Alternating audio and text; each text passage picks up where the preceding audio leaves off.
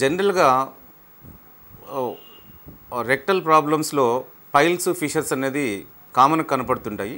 Piles అంటే rectal veins engorge అయ్యి కిందికి సాగి రక్తం పడుతూ నొప్పి పెడుతుంటుంది.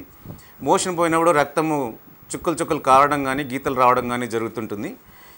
ఇవి రెక్టల్ వీన్స్ సాగడం వలన వస్తుంది. ముఖ్యంగా డ్రైవింగ్ వర్క్ చేసేవాళ్ళు టైలరింగ్ వర్క్ చేసేవాళ్ళు ప్రెగ్నెంట్ లేడీసు తర్వాత ఊఫింగ్ కాఫ్ వచ్చినప్పుడు అబ్డామిన్ ప్రెషర్ రెక్టం మీద వచ్చి నొప్పి పైల్స్ ఏర్పడుతుంటాయి. వీటికి ఆపరేషన్ చేయడం వల్ల కూడా మళ్ళీ రికరెన్స్ అయ్యేటువంటి అవకాశాలు చాలా ఉన్నాయి. కానీ హోమియోపతి మందులు లక్షణాల ఆధారం చేసుకొని వాడుకుంటే అవి పూర్తిగా నియంత్రణ పూర్తిగా నయం చేయవచ్చు.